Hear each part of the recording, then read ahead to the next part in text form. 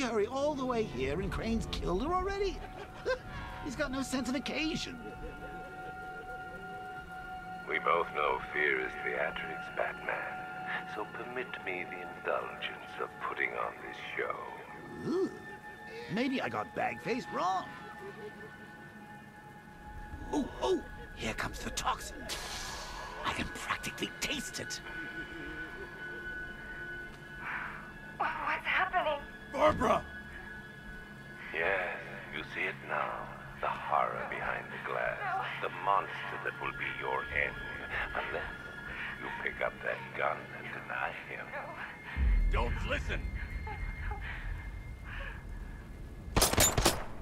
Please. Please, no. Barbara, it's me!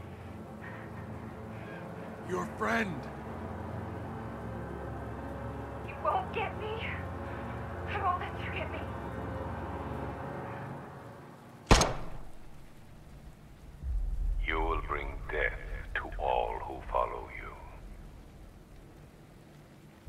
Sir, what's happened?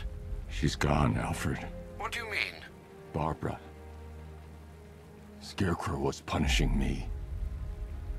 He killed her. No. Oh, my... Well, sir, we need to focus. The people of Gotham need you. I should have protected her, Alfred. She's dead because of me. Sir, please listen. Stagg's files have revealed what the Cloudburst does. It's a dispersal device. Sir, don't you see? Scarecrow has the means to engulf the entire city in fear toxin. You stopped him from making it operational, but it's only a matter of time. Sir, did you hear me? He heard you. He is wondering how he can live with himself. Master Bruce, don't let Miss Gordon's death... Don't let it be for nothing. Oh, you can't bring her back. Let Uncle Jay take charge. No more bad memories, no more pain, no more fear. Scout on her. Ivy. Oh, no.